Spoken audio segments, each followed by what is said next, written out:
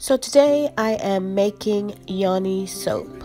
Basically, it's a feminine hygiene soap or really sensitive skin soap. Anybody can use it, but that's what I market it as. And I also do a double infusion of different herbs and spices, so that helps with my process.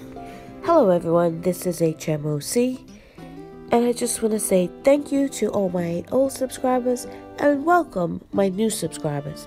So if you haven't subscribed, please subscribe and hit that notification bell to be notified when I upload videos. So I usually make the soap cold process. So today I am going to try the heat transfer method with this recipe and see how it goes. So here I have my infusion already strained of the herbs and spices. And you can see it's a nice dark green color and that's what I like to see. So let's get started with this.